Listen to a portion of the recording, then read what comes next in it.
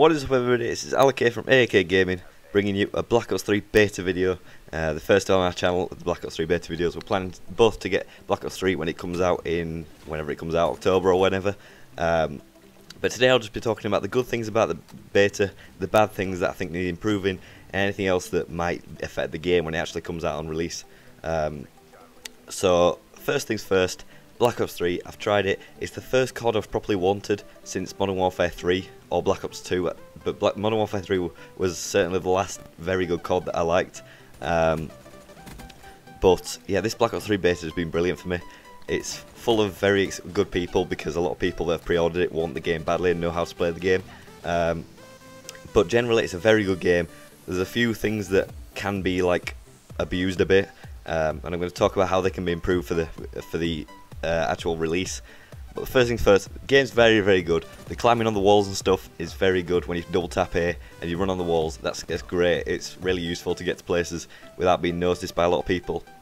Um, the game feels smooth, you can run easily, you can swim underwater, which is brilliant, and shoot people underwater, which is absolutely fantastic. I love that feature. Um, and it just seems to be a very, very fun game to play. There's a lot of different modes, all of them haven't been put on yet, but the four maps that I tried um, that are on the um, uh, on the beta, like Hunted and Combined, are very good. Especially Hunted, it's probably my favourite map out of the four. Um, but I'm using the ARK-7. Well, I was using that before I started using a different gun. I can't remember its name. But yeah, very good machine gun. Um, but things like specialities, which are new to Black Ops 3, I think. Um, such so specialities where after a certain amount of time you, you press RB and LB and you get a certain sort of speciality, the one that you selected with your unlock tokens, and you can change certain certain things in the game. So the one I'm using right now, when I get it, I press RB and LB, and I get 200 points for every kill I get, and I get more points for everything I do, uh, like assists and stuff. Um, so you normally get 100 points for a kill, but I get 200 points with that, and it really helps you get towards the score streaks and stuff. Uh, other specialities include like this big jump, which you can use these boosts or something, which can explode people. I don't really know what it, how it works, but uh, yeah, they're really overpowered. Another one is Vision Pulse, which you can see everyone moving, and everyone's in bright, bright red. Um, you can see everyone in your in your near area, um, every enemy, so that's really useful. And things like and things like specialities, they can be abused, such as the one where you are allowed to teleport back to somewhere when you've been when you're just about to be killed. Uh, it's really annoying if you're an opponent when you when someone else teleports back where they were and then shoots you and kills you. But um, but things like that need to be worked on. I think. And other things like the revive thing, where there's a big puff of green smoke once you've died, and then you get revived. And I don't really understand it. I haven't used that one yet, but it's quite overpowered. Uh, I think it needs to be worked on for the game. But generally, I'm not a massive fan of CODs recently, but this one's really good. I, will probably be pre-ordering it, if not definitely buying the game when it comes out, and bringing videos up on that uh, for that when it actually does come out.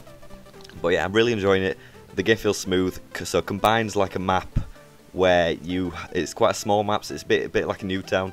Um, the three checkpoints are really close to each other. You'll be seeing domination in the background here. Um, three checkpoints are quite close to each other, and it's another one where the B flag is really important to get. Um, and but combined, it's really close map. There's a lot of kills happening. Um, there's a few other power places where you can go, like you can lie down across this sort of tunnel bit where people can run on the wall and get to you. Um, and it's quite it's quite a hard place to uh, get. Well, it's quite a hard place to be seen, and it gets you a lot of kills if you go in the right place and get a sniper out or something like that. I haven't used a sniper yet, but some people they're not that overpowered, which is a good thing for me because I'm not a big fan of snipers. Um, normally on CODs, so when they're not overpowered, it's good for me because I don't like playing against them either, especially when people are good with them. Things that need to be worked on though, yeah, you know, like I've said, the specialities and stuff, um, and other things like that, just a bit overpowered. And sometimes you think they could just be improved on a little bit and patched, patched a little bit, like EA do with their FIFA and stuff. Um, but overall, it's a really good game. Um, Hunted is a map where you can swim underwater, and I like Hunted because it's a big map. It's a fairly big map. There's a lot of things to do on it, a lot of buildings to go in, a lot of things to try out. Um, you can go under this waterfall, you can swim under this waterfall and shoot people. Um, it's a really good map. You can get a lot of kill streaks on it if you go in the right places. Uh, there's places to run on the walls, places to jump out of the water and stuff. It's a really fun map. Yeah, I can't wait for the Black Ops 3 when it comes out on the actual console. Uh, it should be really good fun.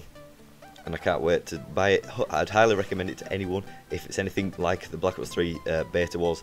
Um, hopefully, with less skilled people, I'll be able, able, it will be easier to get kills and stuff in the actual game when it actually comes out.